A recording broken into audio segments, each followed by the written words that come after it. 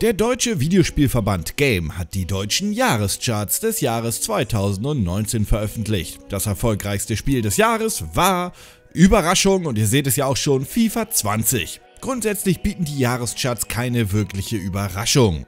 Ich zeige sie euch jetzt mal in den nächsten Sekunden hier direkt im Bild, also gibt es keinen Trailer, ihr könnt einfach mal ein bisschen lesen und selbst mal durchschauen. Aber wirklich, es gibt keine Überraschung. Wobei, doch, eine Überraschung gibt es dann schon. Die krasse Dominanz der Nintendo Switch. In den Top 20 sind 11 Spiele exklusive Nintendo Switch Games. Das ist vor allem deswegen sehr beeindruckend, da die Verkäufe der Spiele aller Plattformen zusammenaddiert werden.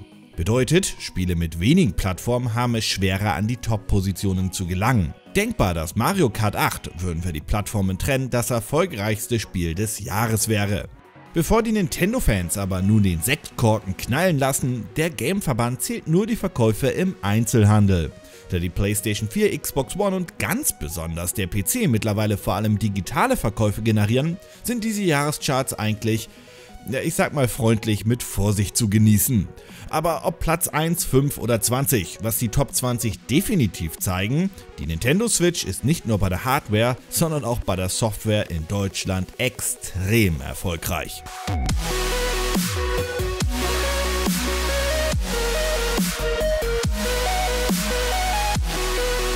Hat sich CD Projekt Red verzockt? Laut einem polnischen Insider musste der Entwickler Cyberpunk 2077 um knapp 5 Monate verschieben, da man massive Probleme mit der Xbox One-Version des Spiels habe.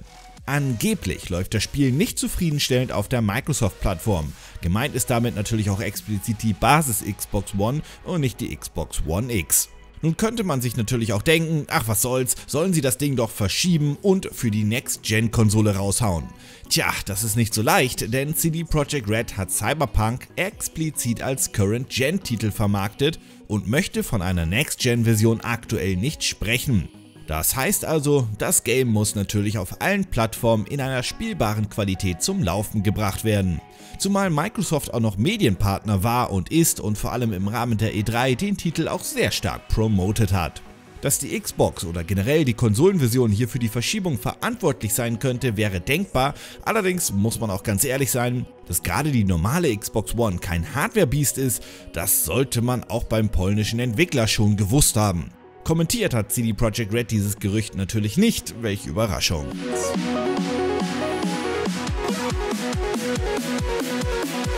Das Entwicklerstudio Ready at Dawn soll an einem Nachfolger zu The Order 1886 arbeiten.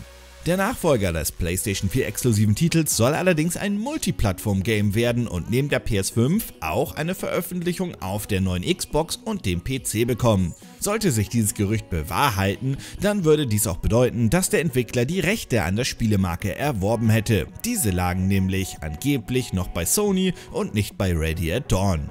Auch hier gilt, natürlich gab es noch keinen Kommentar vom Entwickler oder Publisher zu diesem Gerücht, also alles ja, mit extremer Vorsicht zu genießen. Und weil die News jetzt so kurz waren, habe ich noch eine kleine Frage am Morgen für euch. Findet ihr eigentlich, man sollte die Spiele Deutsch und Englisch oder Englisch und Deutsch oder nur Deutsch oder nur Englisch aussprechen, wenn eine Jahreszahl drin ist? Also Beispiel Cyberpunk. Heißt das Spiel für euch Cyberpunk 2077 oder Cyberpunk 2077 oder Cyberpunk 2077? Schreibt das gerne mal in die Kommentare, weil gerade bei zum Beispiel die Order 1886 ist das halt sehr, ja, schreibt es mal in die Kommentare. Also ich persönlich neige übrigens dazu, die deutsche Jahreszahl zu sagen, in den meisten Fällen. Warum? Keine Ahnung.